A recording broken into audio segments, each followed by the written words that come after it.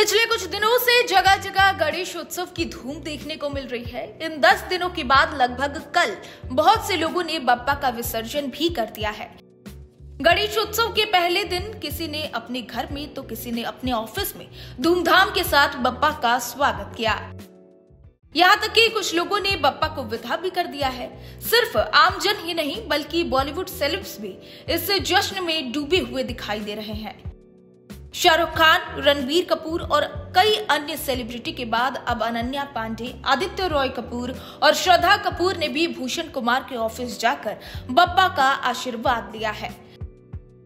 यहाँ से अब श्रद्धा और आदित्य का एक वीडियो भी काफ़ी तेज़ी से वायरल हो रहा है, जिसे देखने के बाद फैंस आशिकी टू स्टार्स को फिर से एक साथ देखने की मांग कर रहे हैं।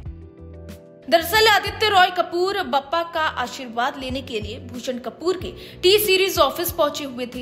इस दौरान श्रद्धा कपूर को भी वहाँ पर देखा गया। जैसे ही श्रद्धा और आदित्य ने एक दूसरे को देखा, उसके बाद दोनों स्टार्स एक दूसरे के साथ बात करते हुए गले मिले। इसका वीडियो तेज़ी से सोशल मीडिया पर देखने को मिल रहा है। वही श्रद्धा एथनिक ड्रेस में बेहद ही खूबसूरत लग रही हैं। वही एक्टर शर्ट और पैंट में नज़र आए। आपको बता दें कि आशिकी टू स्टार्स आदित्य रॉय कपूर, यानी कि राहुल और श्रद्धा कपूर, यानी कि आरोही की जोड़ी को फैंस एक बार फिर से साथ में देखने की डिमांड कर रहे हैं। एक यूज़र ने कमेंट करते हुए लिखा कि हम दोनों को फिर से एक और फ़िल्म में साथ देखना चाहते हैं। एक अन्य यूज़र ने लिखा कि बप्पा भी चाहते हैं कि वो साथ रहे।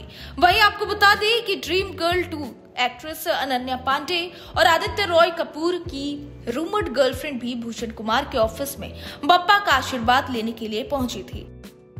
इस दौरान एक्ट्रेस ने भी एथनिक लुक अपनाया हुआ था।